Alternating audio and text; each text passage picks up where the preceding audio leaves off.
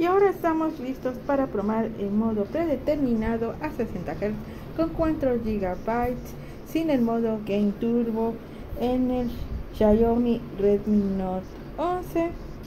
Y aquí van a notar que lo primero que se ve, obviamente, es la calidad gráfica en el juego, porque el rendimiento funciona realmente muy bien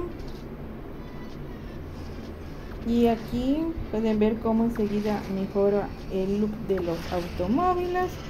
Obviamente traté de bajar el volumen para no tener problemas con derechos de autor pero pues no creo que les muestre todo el juego. Aunque creo que este modo de grabadora no me permite poner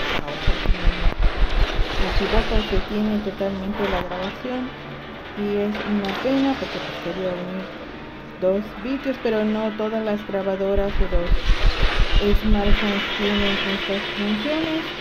Igual siento que le falta un visorcito para las personas que les gusta grabar contenido y luego compartirlo en sus redes para grabar lo que son las primeras impresiones. En este caso pues no se puede